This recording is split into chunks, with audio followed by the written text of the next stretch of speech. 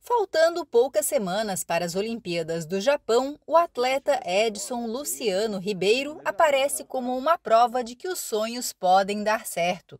Ainda na juventude, ele resolveu investir no atletismo. Hoje carrega consigo uma medalha de bronze conquistada em Atlanta e uma de prata das Olimpíadas de Sydney, ambas do revezamento 4 por 100.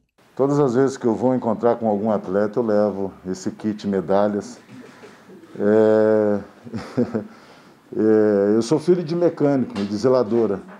E eu só estou aqui hoje conversando com vocês porque o atletismo me deu essa oportunidade.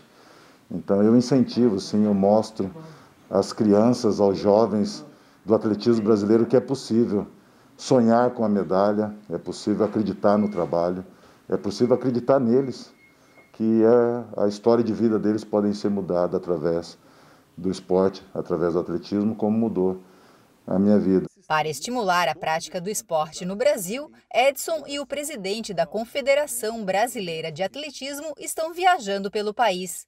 Nos últimos dias, estiveram em Santa Catarina e visitaram a deputada Marlene Fengler. Falaram sobre a necessidade de implantar novas pistas sintéticas para atletismo, já que atualmente o estado tem apenas três em condições de uso, e destacaram a importância de investir no esporte. O atletismo é uma ferramenta de inclusão e transformação social, mas para se tratar, se trabalhar o atletismo em alto rendimento, nós precisamos de pistas de atletismo.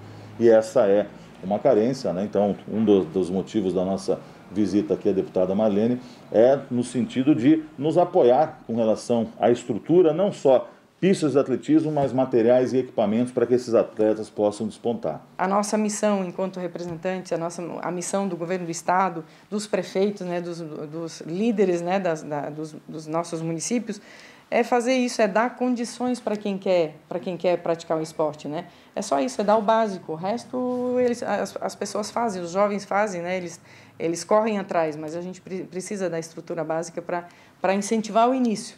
Depois é com eles.